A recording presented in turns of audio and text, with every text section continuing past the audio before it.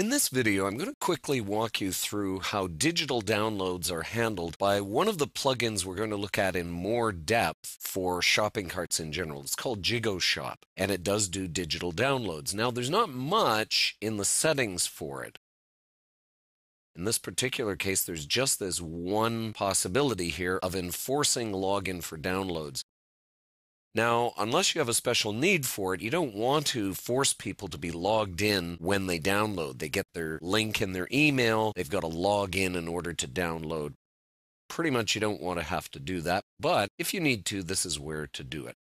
All right, so we're going to add a new product, and under product data here, we've got to choose from our drop down. The base is simple, right? That's the default setting. We drop it down, we choose downloadable, and once we do, you'll see a new tab gets created here, and it's where you upload your file. Now, in this case, you'll see it goes right into the uploads 2012. It's going right into the regular uploads folders. Now, some other plugins will actually put it in a special place, partly for security.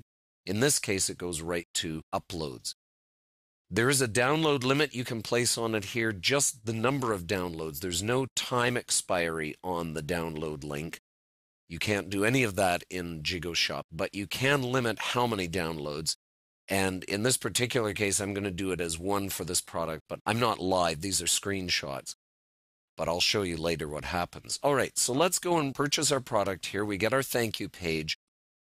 Now, if it was a pending payment from some other gateway or something, it would say pending processing and so forth. In this case, we're waiting for a check payment, but it should say when your check clears or when we receive your check, you'll get your download link. There's nothing like that. So it's not terribly user friendly.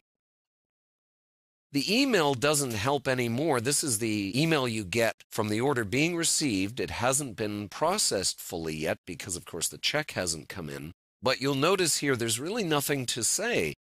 You'll get your download link once the payment clears. Okay, so you go into your orders in JigoShop. Now, in orders, I'm not showing you the full screen here, but there is no indication at all that this is a downloadable product. There's nothing to say, you know, this is how many times it's been downloaded. There's nothing at all about downloads in here. So, what I've done in this case is I've switched it now from processing to completed. And once I hit that completed and save it, then I get, the customer does, gets an order complete email.